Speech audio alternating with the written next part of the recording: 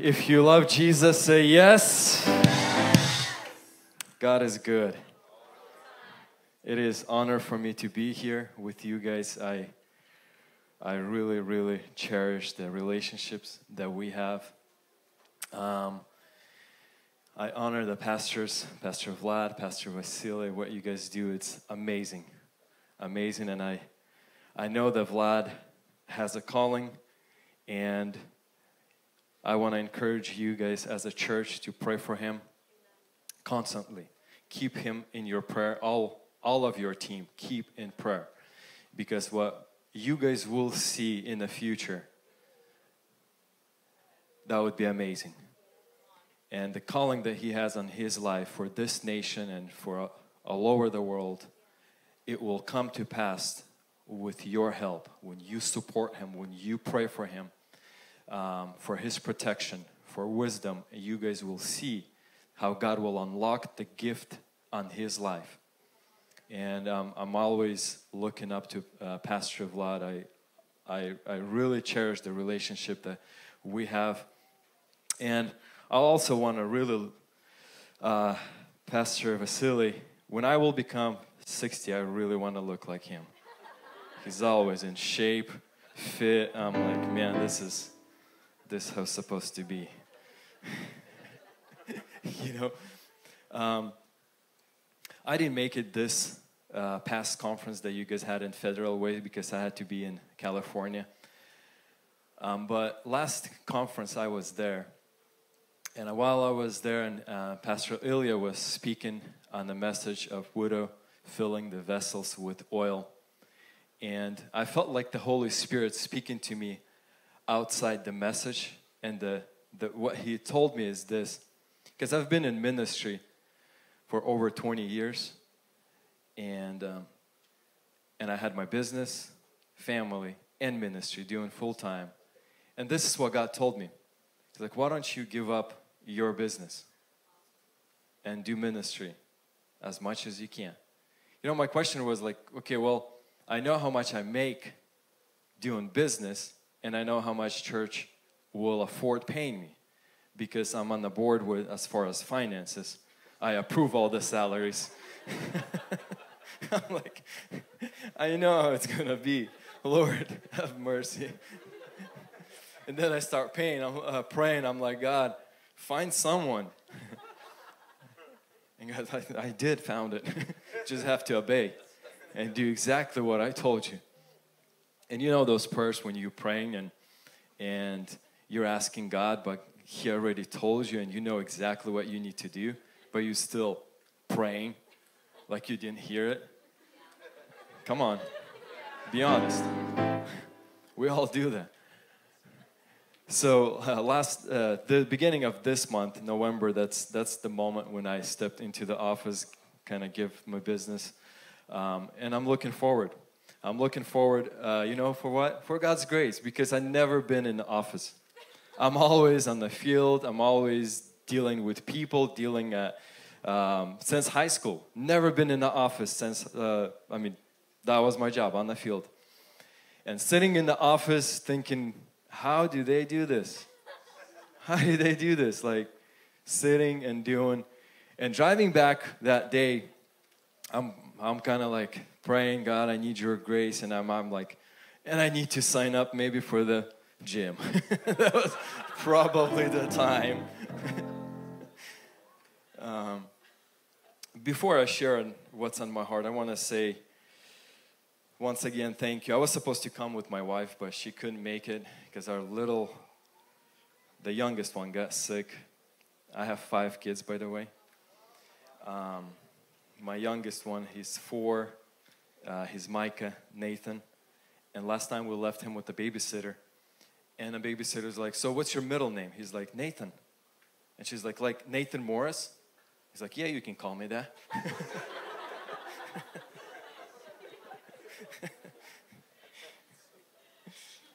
but, um, you know, if you were prayed for the healing this afternoon, I, I want to encourage you. You know, I had a problem with my hands uh, for many years, many years. And I had big famous preachers would come, pray, curse that thing, I mean, do anything anointed, nothing happened.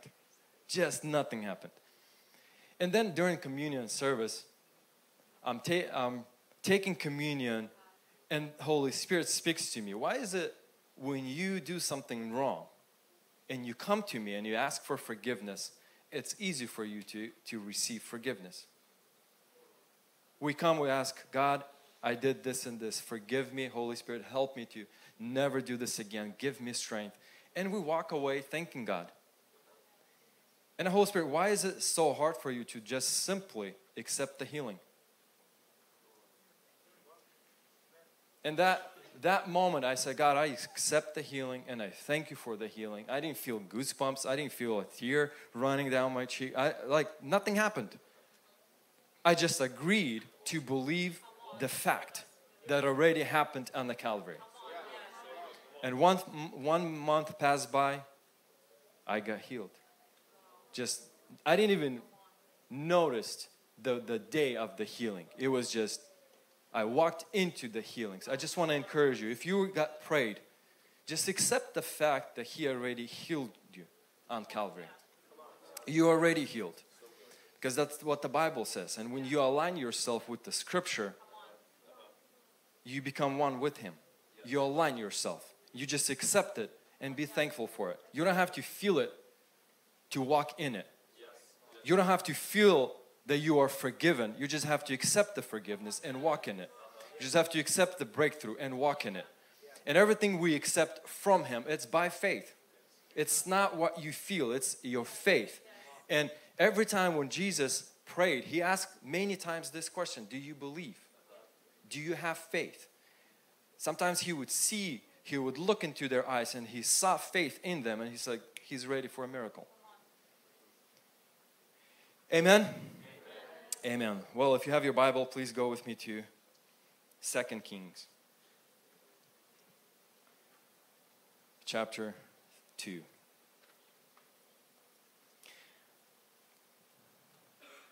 You know, I'm, I'm here not to speak something new that you never heard before. I'm here just to remind all of us, including myself, the things that we already know. I think um, you guys have amazing preachers here. The, they know how to unlock something that you never seen before. That's their job to do. My job is just to remind all of us. Amen. Amen. Well, Second Kings chapter 2, verse 9. That's the story when uh, Prophet Elijah was about to leave, and her, his servant Elisha was following him, serving him. And this is the story. When they had crossed, Elijah said to Elisha, Tell me, what can I do for you before I am taken from you?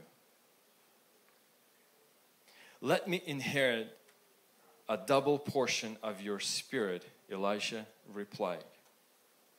You have asked a difficult thing, Elijah said, yet if you see me when I am taken from you, it will be yours. Otherwise, it will not.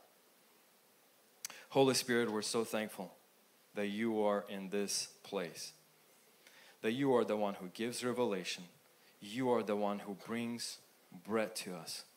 And right now we, we're accepting and we refuse to leave this place the same. In Jesus' name, and everybody said, Amen. Amen. When they had crossed, you know, sometimes you have to come to a point in your life before you hear the question that you should hear. You have to cross something in your life. When you're still battling between your will and His will, you'll never hear the right question from Him. The moment you cross, the moment you you put this line in the sand and you said, This is, I'm not going back, I'm staying here, whatever happens, he begins to speak. He begins to speak. And we see the servant Elisha is asking for a double portion. He's asking for a double portion. Now, the good thing about this that the, the servant Elisha, he realized the time he's facing. It's different than the time Elijah was walking in. He realized that the anointing that Elijah had, he needs double portion.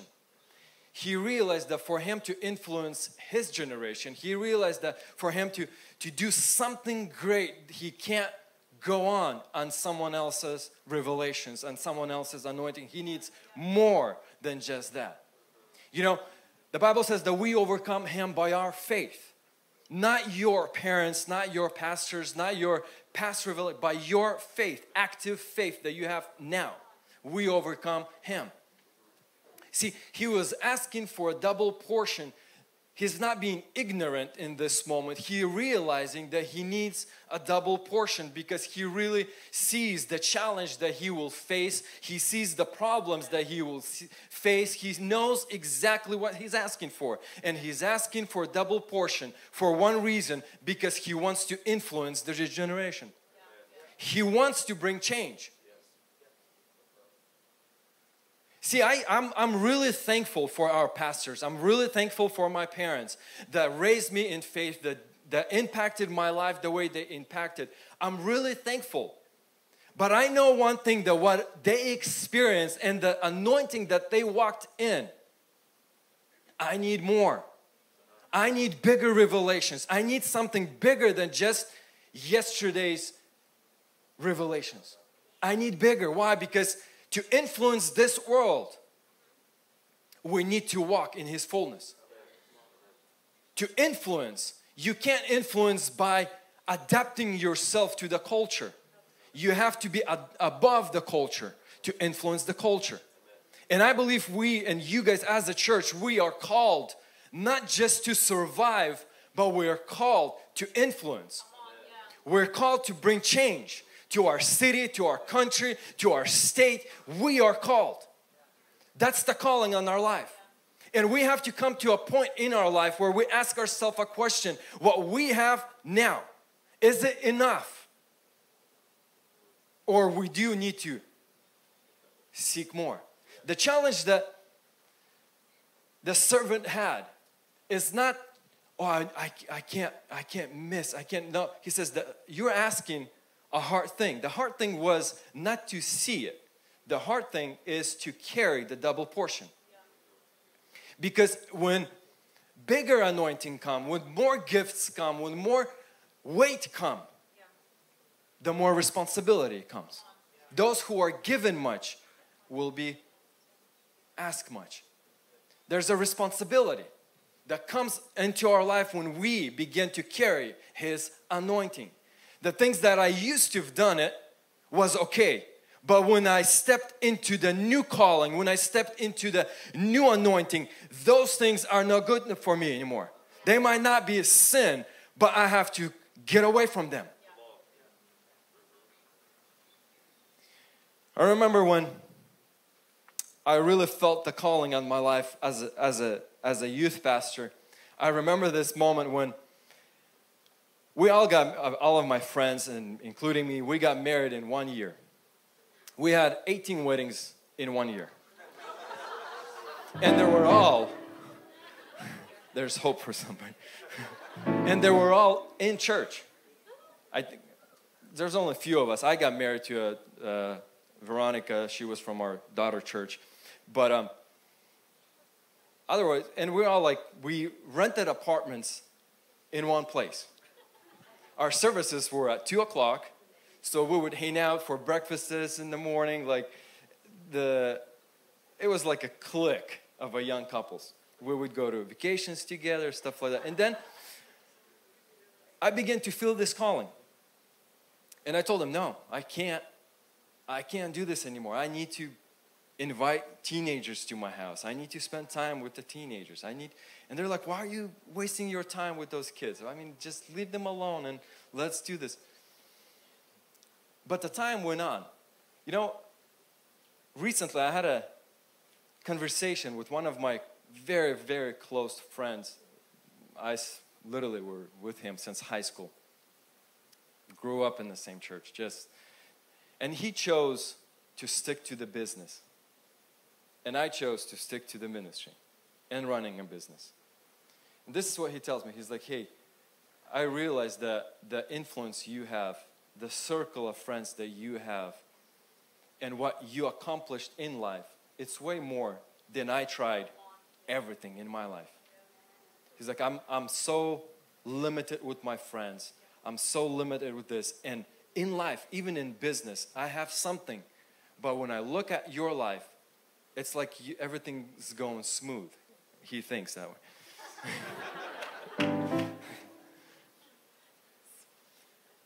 but when we begin to carry and walk into close and more and more of His fullness, there's bigger responsibilities. Now, the challenge that prophet tells him, if you will see how I will be taken away from you, then you will have it. You know that the battle is for your attention. It's literally for your attention. Because if the enemy got your attention, if he gets your attention, he will get your vision. He will change your vision. The moment we give him attention, the moment we begin to spend time with giving him attention, he begins to change our vision. When he begins to change our vision, our desire begin to change. When our desire begin to change, our worship begins to change. And when our worship begins to change, we begin to possess things that we didn't want to possess, but we, we have them. And if we look into what the world does, for example, if they want to change the culture, all they need to do, they need to influence a people that are in Hollywood. They'll make, they will produce the music, and young people will begin to listen or watch and they will begin to worship and then they begin to possess you know this those famous movies that out there about suicide and stuff like that and then we see those kids struggling with suicide thoughts depression why because it's the pattern that the enemy did it's changing the vision changing your focus and then a person begins to possess something that he didn't even want it to have but willingly. And if we go to Genesis chapter 3, um, I think it's a, it's a great verse that explains this. Genesis 3 6. When the woman saw that the fruit of the tree was good for food and pleasing to the eye, and also desirable for getting wisdom, she took some and ate it.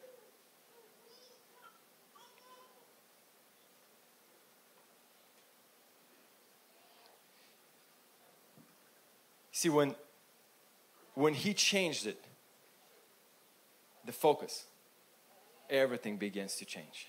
Everything. So we're not just trying to look for something. No, the thing that we must see always in front of us. Like David said, um, Psalm 16, David says in verse 8, I keep my eyes always on the Lord with him on my right hand, I will not be shaken. When I keep the Lord always in front of my eyes, everything that comes into my life, I will not be shaken. Because that's the promise. The only thing that He asks is to keep your eyes on Him. Just keep your focus on Him, and everything that come into your life, you will overcome it. David saw God in front of him when he faced Goliath. He saw the Lord when he faced lion or a bear. He sought the Lord. And it was not his strength, but he knew that who's coming for him. Because the Bible says, Apostle Paul says in Romans, uh, he who is for us, who can be against us? If, the God, if God is for us, who can be against us? If I had a kid in high school, I remember him because he was so everybody wants to just beat the kid, you know? But everybody was afraid of doing it because he had an older brother, the big dude that everybody was afraid of. And everybody wanted to do something, but nobody couldn't. Same thing in, in our life. Sometimes the enemy will go against you. He will try to place fear in your life, but he can't do anything because God is for you. Who can be against you? Nobody can be against you because God is for you. And David says, I saw the Lord always in front of my eyes. And that's why I have victories. That's why I had I accomplished what I accomplished because I saw the Lord always in front of my eyes. That's why enemy always wants to change what you see. Because the moment he changes what you see, he got your attention and everything begins to change. Apostle Paul says this. 1 Corinthians chapter 3 verse 18. But we all, with unveiled face, beholding as in mirror the glory of the Lord, are being transformed into the same image from glory to glory, just as by the Spirit of the Lord. You know, I had a, when I was a kid, I grew up in a big family. So my dad, he worked with very famous painters. Is that how it's painters or? Yeah. Um, and one of the one of the guys said, "Hey, I want to make a huge portrait of your guys' family," and uh, he invited. He came to our house, and he would sit each one of us, all 14 of us, took several weeks of doing it. For two hours, you're sitting in front of this dude, and he's just looking at you and putting, doing whatever he's supposed to be doing. And here's the thing: when it comes to his presence, it's not one-time event that changes you. It's when we face Him every day, when we see Him every day, we begin to look more and more like Him. It's not one time event. Yes, it's important to respond to the altar call, but altar call just the beginning. It's the first step. But then the walk begins and then the transformation begins and then people that knew you before they begin to look at you and say hey what's wrong with you you don't you used to do this and this, but now you don't. And you didn't even realize when it happened, but it happened because you are looking face to face to one who is capable to transform you. Apostle Paul says, imitate Christ. Imitate Christ. How can I imitate Christ if I if I rarely, rarely see him? For me to imitate him, I have to daily see how he responds, how he acts. And then I never had a compassion. I start having a compassion. I never loved certain people, but I began to love them. Why? Because I began to see how he loves, how he has a compassion. I began to look more and more like him. I'm not forcing myself to become like him. I'm just simply becoming like him. And I began to reflect his glory all around me. And people begin to notice this. It all starts with me stepping into His presence. Why? Because we have the access, full access, just daily coming into His presence.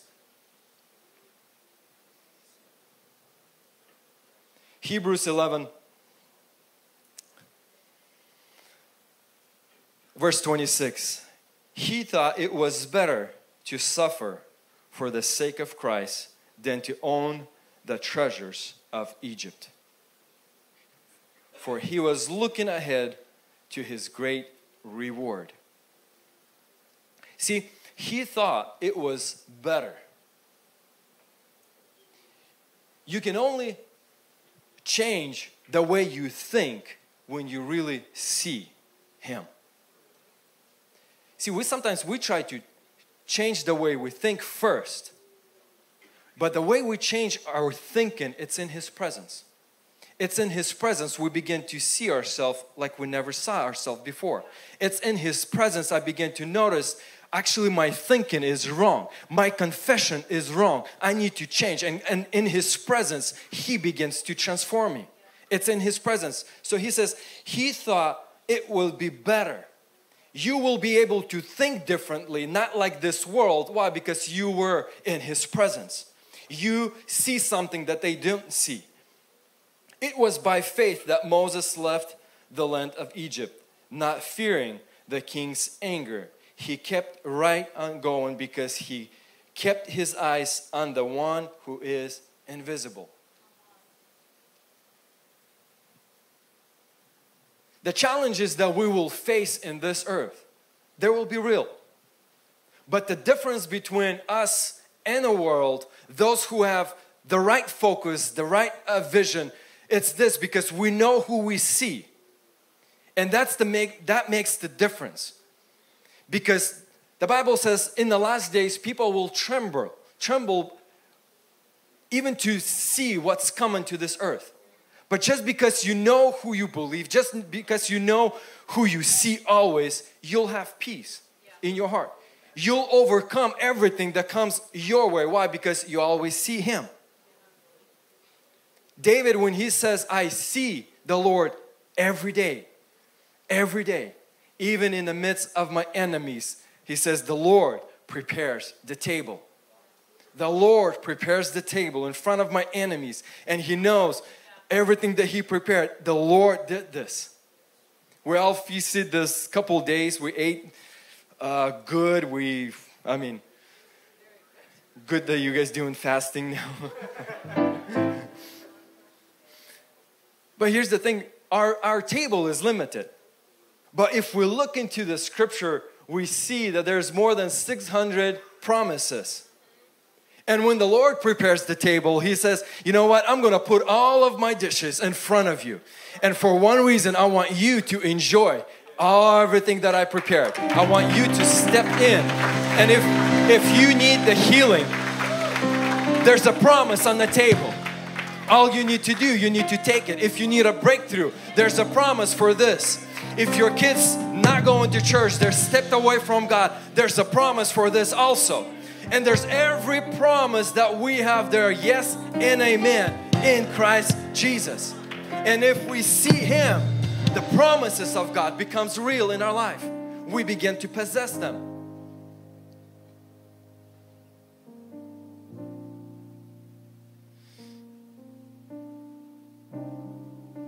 Ephesians Apostle Paul says, I pray that the eyes of your heart may be enlightened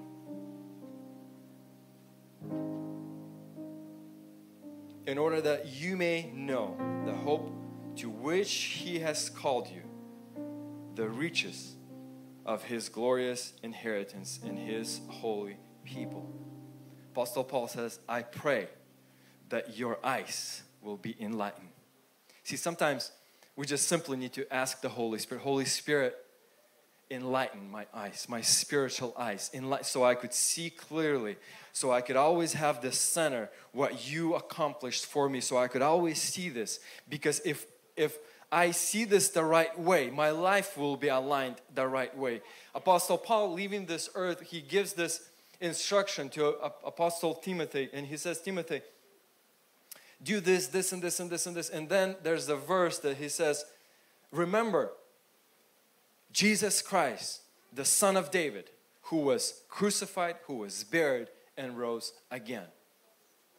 See, Timothy, remember, in the midst what you will be doing, the great stuff that you will be doing for the kingdom, I want you to remember one thing. I want you to have your focus. I want you to always see this one thing is what he accomplished for you.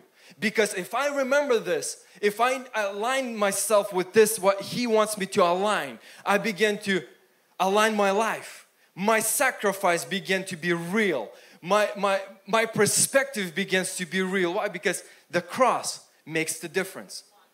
If I have the revelation of the cross, it will determine how much I will sacrifice of my life.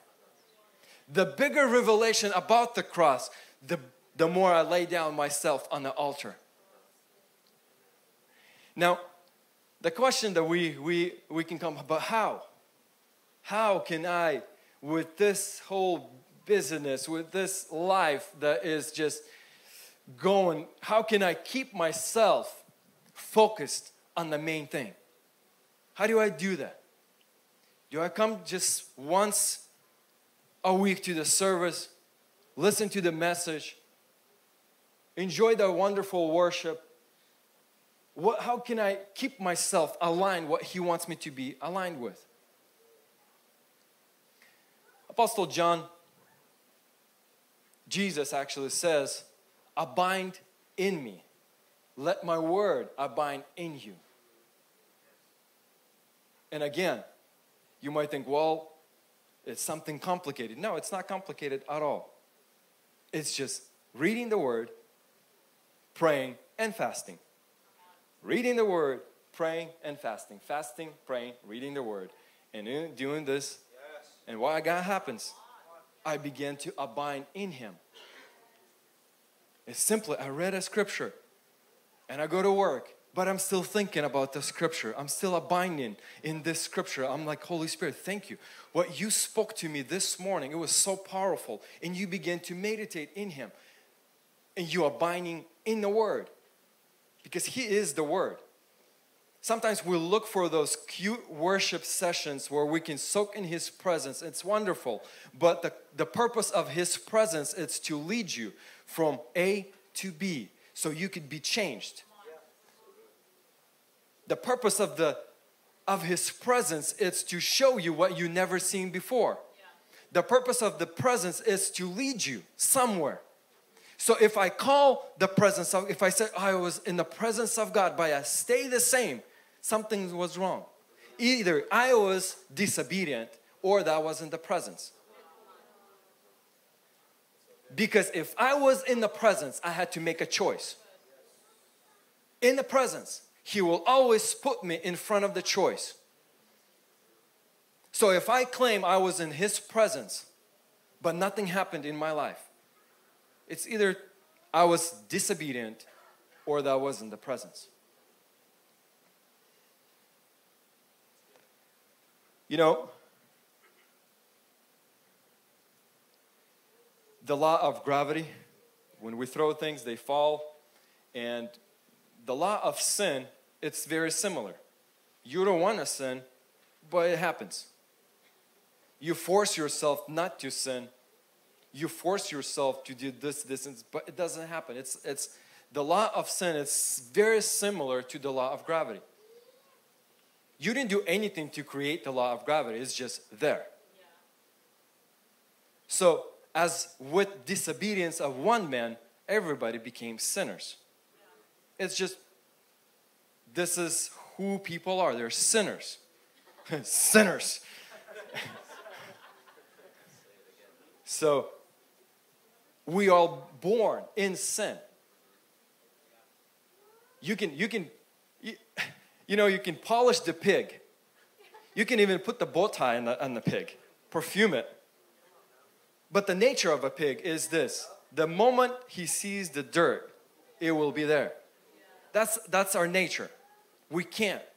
So the humanity come up with a new law, the, the law of aerodynamics.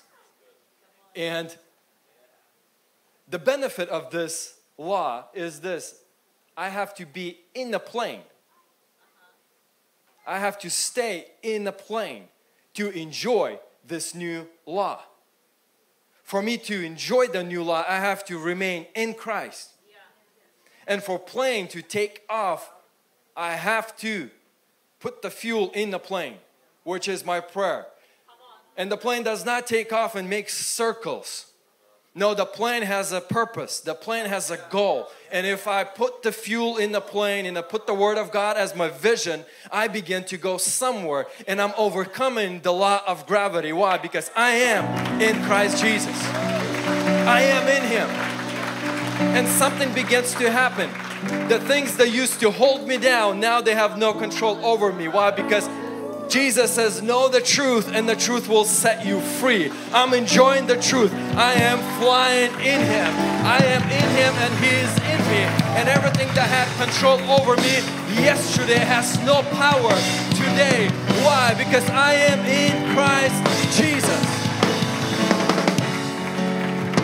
That's the purpose of us always staying focused on Christ Jesus. And He does this when we remain in Him. He breaks the word. You know, Portland known for good coffee places and good restaurants. And we have this awesome place. Uh, I forgot the name of it, but it's, it's owned by Australians. Lana, you've been there? No. Uh, anyways, it's such a, I mean, they, they make the best coffee there. They have this whole bar section with four, 14 different baristas who's doing different coffees. Um, and here's the, the unique thing about this place is this. When I came first time, I didn't kind of, but this is what happens. So you, the, the waitress come and he asks you a question. Do you understand everything? Do you have any questions? And then, well, I have a question about this. He goes like this. He sits down next to you. He goes, so this was prepared by this chef. It's this, this, this, and he begins to explain it to you. And he makes it personal. You know, sometimes we can debate on the scripture, we can debate on the menu what is good, what is bad, what's right, what's wrong. But here's what the Holy Spirit does He comes right next to you and He says, This, you know what? I don't want you to debate or I don't want you to read the word just to overcome your debates with someone. I don't want you to read the word to prove your point. No, I'm here next to you to actually go and bring you what the chef prepared. I'm here for you to bring you the promise of God so you can enjoy it. He literally enlightens the word of God in us. And the word of God becomes alive in us. And that's the word that we overcome this world. The word that stuck to us. That's the word that brings faith. That's the word. Not the word that we just read day and night, day and night. It's awesome to read, but the word that brings changes, it's the word that the Holy Spirit got to you.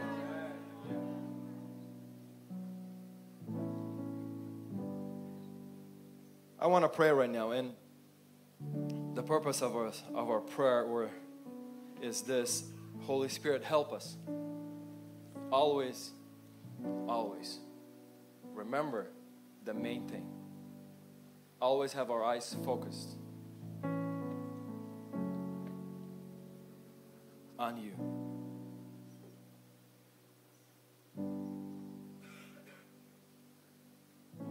In Hebrews 12, it says, Let us focus our eyes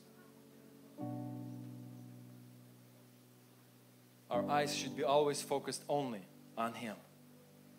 Because when our eyes are focused on Him, you don't have to struggle with your identity. You don't have to prove your point to someone. You don't have to impress anyone. All you need to do, just have your eyes focused on Him.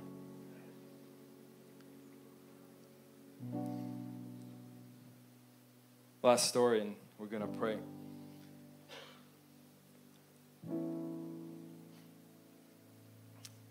One of the our one of our youth camps. I'm sitting while one of the guest speaker is preaching preaching and I'm I'm listening to the message and the message was about relationship with God and has nothing to do with the Holy Spirit spoke to me. But the Holy Spirit spoke to me, you are free. And I'm like didn't feel that I am bound but you are free. And then he begins to clarify himself. He says, You don't have to be someone that is successful, you just have to be yourself. Because in the early days, I was always facing this challenge. If I would see some successful youth ministry, I would try to do and use the same methods and do this and this and this.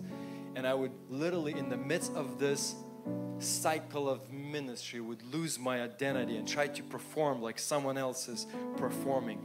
And I felt the Holy Spirit is saying, hey, you just have to be yourself. Just see me and be yourself. You know the beauty is when you are yourself. People are attracted to you when you are yourself. You know, I have a huge gap with the young people. I'm over 40. I have a big gap when the teenagers come and they, and I have teenagers and young people every week in my house. You know, that you don't have to be like them to love them. You just have to love them and they will be attracted to this love.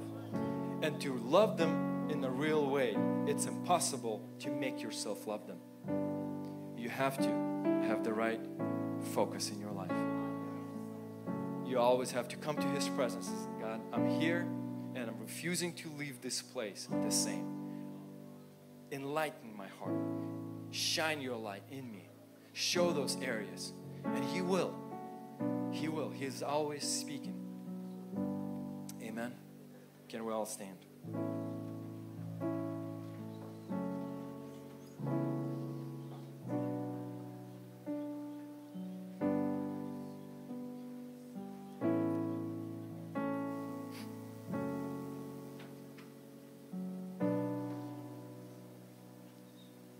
Know which prayer God enjoys?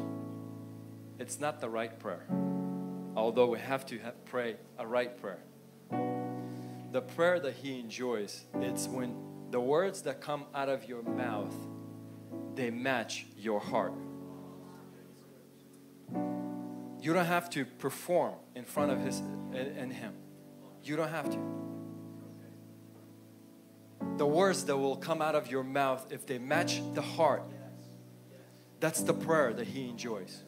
Sometimes it's, it's, it could be wrong theologically, but if it's your heart, He will listen and He will work on behalf of that prayer. So, this afternoon, I want us to pray and ask the Holy Spirit Holy Spirit, I'm willing to do my part. I'm willing to pray. I'm willing to fast. I'm willing to do this and this, but I need your grace to help me stay focused and always see what you accomplish on Calvary for me. Because that's what He wants. It's for you to stay focused on Him. And the success is guaranteed. Lift your hands right now from the front to the back in His presence. We're going to begin to worship.